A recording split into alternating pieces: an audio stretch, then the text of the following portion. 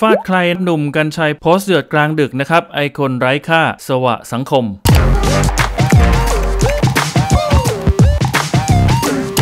ทำมาแฟนคลับสงสัยและอยากรู้กันเลยทีเดียวนะครับ เมื่อพิธีกรผู้ประกาศข่าวคนดังของเมืองไทยนะครับ อย่างพี่หนุ่มกัญชัย ได้โพสต์ข้อความสุดเดือดผ่านทาง Facebook หนุ่มกัญชัยนะฮะ ต้องบอกเลยว่าแต่ละประโยคนั้นอ่านแล้วจุกจริง ๆ โดยในข้อความนะฮะระบุว่าระยำใจจริง ๆ หลอกยืมมือคนอื่นที่กำลังอ่อนแอทางด้านอารมณ์และความคิดให้หลงเชื่อในเรื่องที่ไม่จริง เพื่อมาดิสเครดิตคู่กรณีของตัวเอง มึงมันไอคนไร้ค่า สวะสังคม หน้าตัวเอียอิบอายนะฮะ ก็ต้องบอกเลยว่าเป็นการโพสต์กลางดึกที่ทำเอาแฟนคลับต่างก็เข้ามาคอมเมนต์ส่งกำลังใจนะฮะพร้อมกับอยากรู้ว่าพ่อหนุ่มนั้นฟาดใครกันแน่ และใครคือสวะสังคม ซึ่งแอบก็คิดว่าน่าจะมีคำตอบในรายการโหนกระแสแน่นอนนะครับก็ติดตามฮะขอขอบคุณข้อมูลดีๆจากสนุก .com ขอบคุณเพื่อนๆติดตามด้วยนะครับ